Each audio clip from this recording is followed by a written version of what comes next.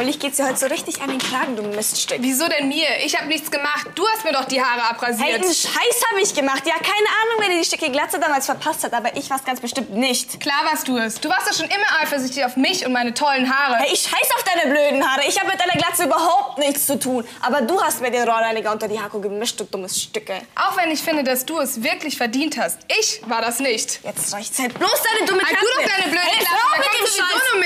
So, die Damen, Entschuldigung, ich höre das bis in den Gerichtssaal. Was ist denn hier los für ein Gekeife? Wissen Sie nicht, wie man sich hier benimmt? Ich weiß schon, wie man sich zu benehmen hat, aber die da hat null Anstand. Hey, ich meine, du hast doch angefangen, oder? Also bitte, jetzt mal. Was, du bis- kleiner Spacko schon hier. wieder da, hä? Hallo? Ich hab dir schon tausendmal gesagt, dass ich es hasse, wenn du mich filmst. Hör auf mit dem Scheiß. Steh doch hier bloß so rum. Haben Sie wirklich gerade ein Video von den Damen gedreht, oder wie? Vielleicht. Vielleicht, das könnten wir nachprüfen. Sie wissen schon, dass das strafbar ist, ne?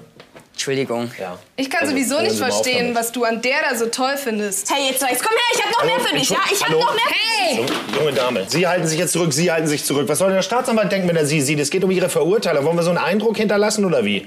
Ich würde mal sagen, wir beide gehen schon mal in den Gerichtssaal, aber das bringt ja hier überhaupt nichts mit Ja, den beiden. mal lieber zusammen Kommen Sie mal. Ja, Ja, Sie ja. sind jetzt ruhig. Jetzt kommen Sie bitte mit. Ja, ja, ist ja gut. Die regt mich einfach Jetzt so kommen Sie auf. bitte mit. Geh.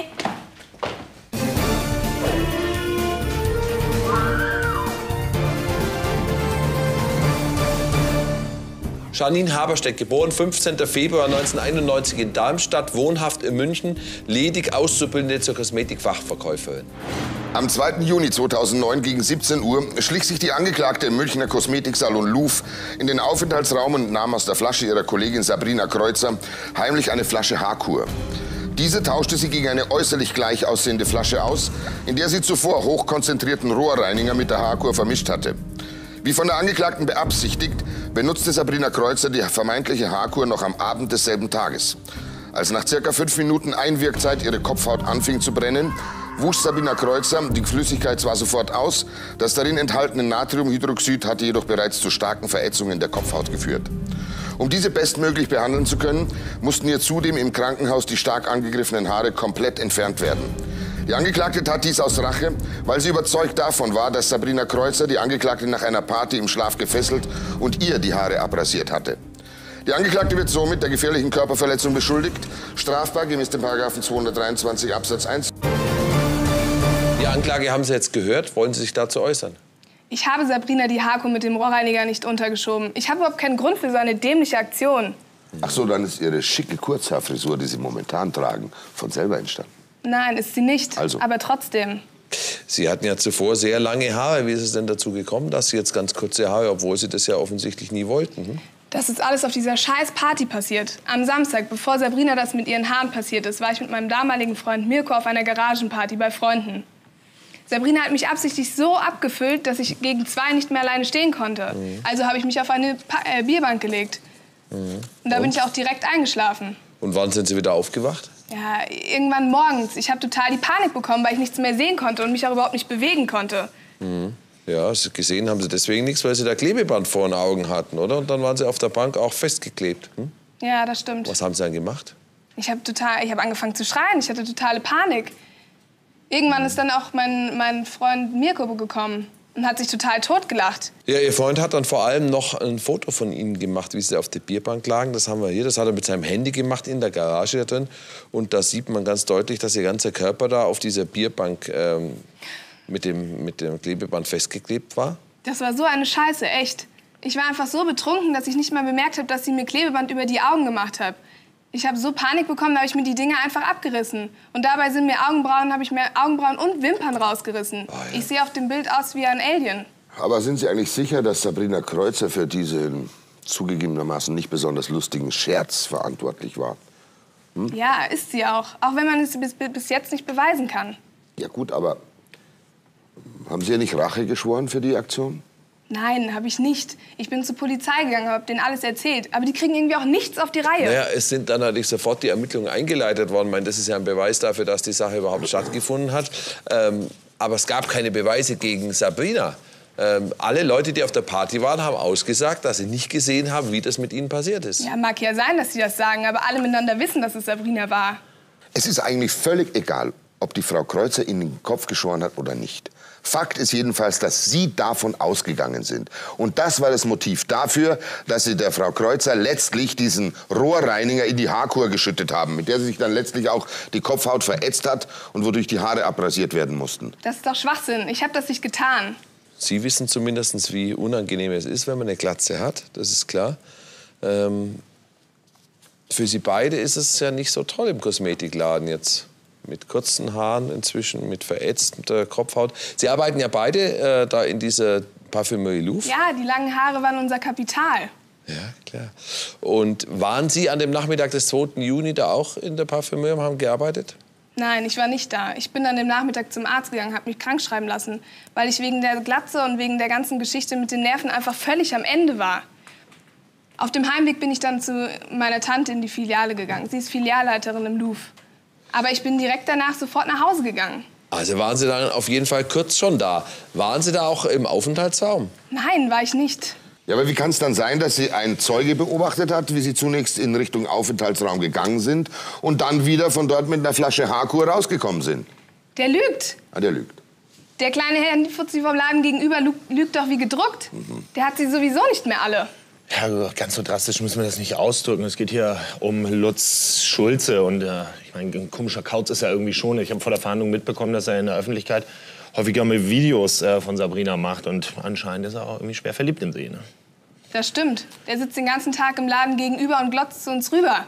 Und macht andauernd komische Videos von Sabrina. Das ist offensichtlich auch sehr hartnäckig. Sabrina reagiert leider nicht gerade sehr freundlich darauf. Ne? Sie erteilt ihm eine Abfuhr nach der anderen, was aber angesichts der Hartnäckigkeit auch nicht unbedingt ein Wunder ist. Aber auf jeden Fall ist sie nicht besonders einfühlsam. Und äh, ich kann mir gut vorstellen, dass diesem Lutz dann letztendlich irgendwann mal der Kragen geplatzt ist, wenn er dann auch immer gedemütigt wird und wollte sich für diese harten Abweisungen letztendlich wahrscheinlich rächen. Ne? Ja, das glaube ich auch. Noch weitere Fragen? Keine, Herr Angeklagte. Setzen Sie sich bitte zu dem Herrn Verteidiger, wir treten in die Beweisaufnahme ein. Sabrina Kreuzer, bitte.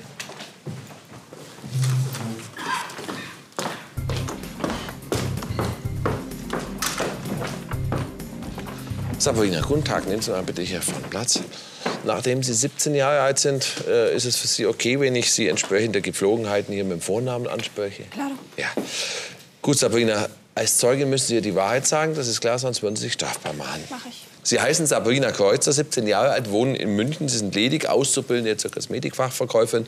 Verwandt oder verschwägert mit der Angeklagten sind Sie nicht. Sabrina, der Angeklagten wird ja vorgeworfen, Ihnen am Nachmittag des 2. Juni 2009 diese Flasche Haarkur hier untergeschoben zu haben, in diese zuvor Rohrreiniger hineingemischt haben soll. Das Ganze soll aus Rache passiert sein, und zwar, weil sie davon überzeugt ist, dass bei einer Garagenparty, die vorher stattgefunden hatte, äh, sie ihr den Kopf rasiert haben sollen.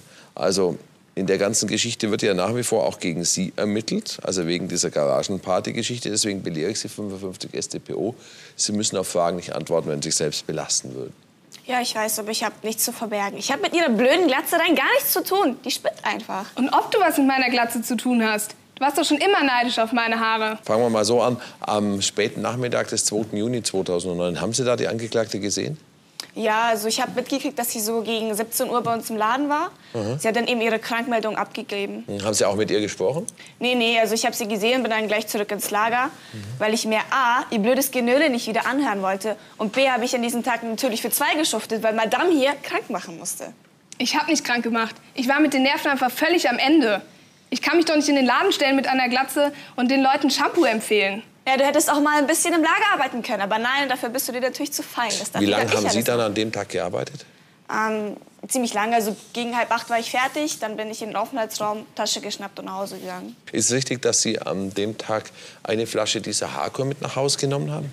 Ja, das stimmt. Also ähm, ich bin in der Mittagspause ins Lager, dann habe ich das an der Kasse bezahlt und in, meine Aufent also in den Aufenthaltsraum meine Tasche reingetan. Ja. Und genau das hat sie sowas von ausgenutzt. Sie wusste nämlich ganz genau, dass ich jeden ersten Montag im Monat mir diese Haku hole. Ja?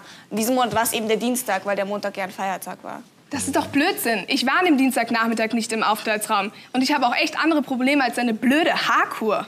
Von wegen, du hast es geplant gehabt, Janine. Ja? Du hättest diese blöde Krankenmeldung auch per Post schicken können oder deine Tante hättest abholen können. Aber nein, du hattest natürlich was vor. Ja. Wann haben Sie dann gemerkt, dass mit der Haarkur was nicht in Ordnung ist? Ja, ziemlich schnell. Also ich bin dann abends duschen gegangen, hab mir die Haarkur rein, Handtuch drum, damit es einwirken konnte. Ja, und dann nach circa fünf Minuten habe ich halt gemerkt, dass es tierisch angefangen hat zu brennen. Es hat sowas von, es hat so weh getan, ich kann das nicht mal mehr mit Worten Haben Sie beschreiben. Haku dann direkt ausgewaschen? Ja, ich habe es zumindest versucht. Also mit lauwarmem Wasser ist es natürlich viel schlimmer geworden. Ja, ich hatte überall offene Stellen am Kopf und meine Haare waren natürlich total im Arsch, von der Kopfhaut ganz zu schweigen. Dann irgendwann hat es halt nicht mehr aufgehört zu brennen, dann bin ich ins Krankenhaus gefahren und die haben mir den Rest gegeben. Die meinten, die könnten mir nicht helfen, wenn sie mir die Haare nicht komplett abschneiden würden. Ja, das haben sie dann auch getan. Ey. Laut Laborgutachten, das ich hiermit verlese, befand sich in dieser Flasche handelsüblicher Rohrreiniger, der vor allem Natriumhydroxid beinhaltet. Wer hätte denn Gelegenheit gehabt, da im Aufenthaltsraum in ihrer Tasche äh, die Flasche auszutauschen oder mit Rohrreiniger zu versetzen? Naja, also die fünf bis sechs Mitarbeiter hätten Gelegenheit gehabt. Aber eigentlich ist der Raum für jeden zugänglich, weil er nicht abgesperrt wird. Ja. Haben Sie nicht gerochen, dass mit der Haku irgendwas nicht stimmt? Also, Nee, das also, riecht schon sehr stark nach Chlor. Hm? dann hätte ich es nicht drauf gemacht, wenn ich es gerochen hätte. Ja. Laut medizinischem Gutachten, das ich ebenfalls hiermit verlese, haben Sie erhebliche Verätzungen an der Kopfhaut erlitten. Um die behandeln zu können, äh, sind Ihre Haare abgeschnitten worden. Ja. Ähm, die werden aber wieder nachwachsen. Also im Gutachten hier steht, dass dauerhafte Schäden weder an Haaren noch an der Kopfhaut zu erwarten sind. Ja, Gott sei Dank, sonst könnte ich meine Lehre komplett vergessen. Ja. Also ich habe ein Foto auch hier, wie Sie vorher aussahen mit langen Haaren. Sie hatten ziemlich langes Haar, ja. Ja, ey, bis das wieder so lang wird, das dauert bestimmt eine Ewigkeit. Und der ganze Schlamassel, nur weil die sich da eingebildet hat, ich hätte ihr die Haare abrasiert. Hat sie Ihnen das mal so direkt vorgeworfen? Oh ja, sie hat mich direkt nach dieser Party am Sonntagnachmittag angerufen und mich total zu Schnecke gemacht am Telefon. Ja, sie meinte von wegen, ob ich überhaupt wüsste, wie was ich ihr damit antue und wie schrecklich das alles sei. Und dann hat sie mir auch noch gedroht. Ja, du wirst schon noch sehen, was du davon hast und wie schlimm es ist, eine Glatze zu haben. Ja, aber das bedeutet doch ganz klar, dass die Angeklagte die Tat bereits am Tag nach der Garagenparty geplant hatte. Das ist doch Blödsinn. Ich gebe zu, dass ich mich darüber aufgeregt habe, dass sie mir die Glatze rasiert hat. Aber ich habe ihr nicht gedroht. Von wegen. Ja, du hast total getobt am Telefon. Ich habe überhaupt nicht mitgekriegt, was du eigentlich von mir willst. Ich kauf dir deine Unschuldsnummer hier nicht ab. Du hast mir den Schädel rasiert. Ich weiß ganz genau, wie neidisch du immer auf mich und meine Haare warst. Und du hast dich auch schon immer benachteiligt gefühlt. Ja, das mit dem benachteiligt gefühlt stimmt ja auch. Ich meine, du darfst immer auf diese geilen Seminare, auf die tollen Weiterbildungen, ja? Und ich, ich sitze den ganzen Tag in diesem blöden Lager rum. Dafür kann ich doch nichts. Ich bin einfach besser im Job als du. Du solltest dich lieber mal ein bisschen mehr anstrengen, anstatt mir mein Kapital zu nehmen. Wer will denn schon eine Kosmetikverkäuferin ohne Haare? Ja, stimmt. Eigentlich fand ich es auch gar nicht so schlecht, dass du mal nicht da warst, ja? Dann konnte ich mal vielleicht zeigen, was ich kann. Deine Tante, die behandelt dich immer super und lässt mich immer links liegen, ja? Glaubst du ernsthaft, dass ich mir darüber Sorgen mache, dass du mich im Job ausstechen Ja, könntest? na klar. Sabrina, es ist doch total albern. Du hast doch nichts drauf. Das Einzige, was du kannst, ist gemein sein. Ich kann überhaupt nicht verstehen, dass wir zweimal beste Freundinnen waren. Ja, ich auch nicht, denn du warst immer so ein Miststück. Also jetzt lassen wir das bitte mal, ja? Beide. Aber es ist wahr. Sie war wirklich noch nie besonders nett zu mir. In der Schule hat sie mir natürlich immer meine Freunde ausgespannt. Und dann, an der Schule, war sie wieder der Star. Und jetzt in der Ausbildung drängelt sie sich auch ständig in den Vordergrund. Das ist doch Schwachsinn. Ich bin einfach besser als du im Job. Das stimmt nicht. Hinter deinen langen Haaren und deinen schönen Wimpern steckt rein gar nichts. So. Und dann wollten sie es der ganzen Welt mal zeigen, nicht? Und dann haben sie meiner Mandantin deswegen die Haare abrasiert, damit sie sich dahinter nicht mehr verstecken kann. Kennst bestimmt nicht. Sie haben es aus Rache getan, vielleicht auch, weil sie wieder mal einen Jungen an sie verloren hatten. Nein. Erzählen Sie doch mal, was da mit dem Jungen vorgefallen ist. Also es war so, ich hatte einen Freund, den Mirko, und erst seit ein paar Wochen. Also es lief auch alles ganz toll. Und er hat mich sogar ab und zu in der Arbeit besucht, weil er mich so vermisst hat. Ja, und das ist mir dann auch zum Verhängnis geworden, weil er dann die schöne Janine gesehen hat. Natürlich hat die sich sofort an ihn rangemacht und immer betascht und sowas. So ein Schwachsinn. Ich war einfach nur nett zu ihm. Wie zu jedem anderen Menschen auch.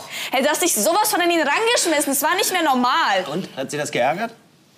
Nee, wieso? Also, ich bin über den Kerl hinweg. Es gibt ja schließlich noch andere Männer auf der Welt. Ja, genau. Ja, ja, redest sie doch nur ein. Du warst doch schon immer eifersüchtig auf mich und meine tollen Haare. Sabrina, ich bin mir sicher, dass Sie auf der Garagenparty zum Rasierer gegriffen haben. Nicht? Sie wollten sich für die Demütigung, die Sie über die Jahre erfahren mussten, endlich mal rächen. Sie haben mir den Kopf rasiert. Das ist Schwachsinn. Ich habe überhaupt nichts mit ihrer Glatze zu tun gehabt, ja? Ich habe völlig zu Unrecht meine Haare verloren. Denn ich bin hier das Opfer. Nur ich, klar? Ich bin allerdings überzeugt, dass meine Mandantin mit der Haarkur gar nichts zu tun hat. Ne? Sie hat Ihnen das gar nicht untergejubelt. Insofern hat sie auch mit ihrer Glatze nichts zu tun. Ja klar, wer dann? Lutz Schulze? Der kleine Spacko von nebenan aus dem Händen? Ja, Spacko klar. von nebenan. Ne? Glaube ich im Leben nicht. Mit dem hatten Sie vielleicht schon mal ein Problem? Nö, wieso? Naja, weil Sie vorhin sehr genervt gewirkt haben, als der mal wieder ein Filmchen von Ihnen gedreht hat vor dem Gericht. Ne? Und äh, für mich hat das auch so ausgesehen, als wäre es nicht das erste Mal gewesen. Ja, er filmt halt ständig. Er filmt jeden verdammten Schritt von mir. Und er checkt nicht, dass ich nichts von ihm will. Ja, haben Sie dem Lutz Schulze schon mal gesagt, dass Sie nicht ständig von ihm gefilmt werden wollen? Ja, natürlich. Also nicht, ein, nicht nur einmal. Ich habe es ihm hundertfach gesagt. Aber er hört einfach nicht zu. Er will sich checken. Gibt es noch Fragen an die Zeugin hier? Danke, Nehmen Sie mal nein. bitte den Platz. Lutz Schulze, bitte.